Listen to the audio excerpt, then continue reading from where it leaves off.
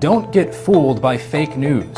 Plenty of mainstream media outlets have their problems, but turning to sites that just make up fake news is not the answer, and it makes you look foolish. I'm talking about sites like InfoWars, led by this guy, Alex Jones. They actually say the Sandy Hook shooting was staged and that grieving parents were actors.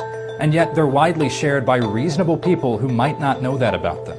And again, you look at the Aurora shooting, that was totally staged. And that's just one of countless fake stories that InfoWars has pushed out. A site called American News is more popular on Facebook than many real news outlets, but it makes up stuff all the time.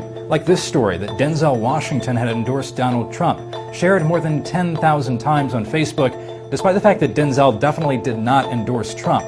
Or this story that Chief Justice John Roberts had signed off on President Obama's removal for treason,